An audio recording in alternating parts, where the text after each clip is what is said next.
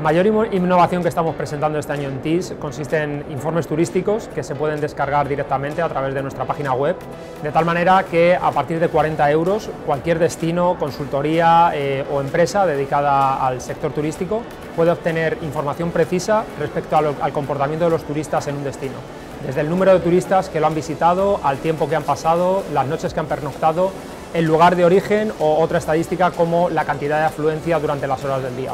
Es información que de cara a la explotación de cualquier destino y a la toma de decisiones es fundamental en una situación además como la que estamos viviendo durante estos últimos meses. Mi ponencia de mañana versará fundamentalmente sobre el concepto de la democratización del Big Data. Entendemos en Kido Dynamics entendemos democratización como la facilidad de acceso al dato, no solamente desde un punto de vista de economía, sino desde un punto de vista de comprensión, de ser capaz de entender el dato por cualquier persona, incluso que no sea un especialista en el sector.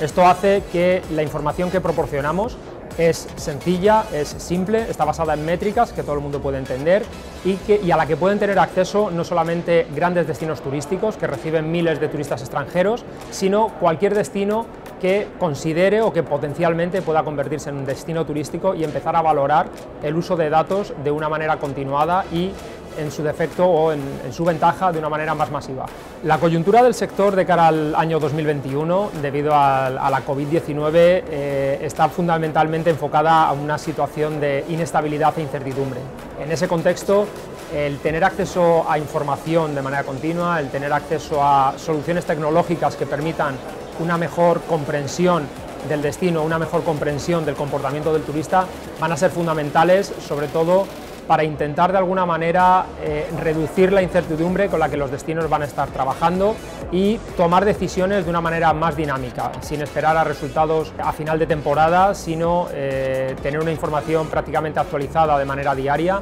lo que les permita comunicar, por un lado, a los distintos actores del sector y, por otro lado, desde un punto de vista de la planificación, tomar esas decisiones y actuar sobre las medidas que van a mejorar la experiencia del turista y van a reducir el impacto que eh, una, digamos, una continuación de la epidemia o de la pandemia pudiese tener durante el año 2021.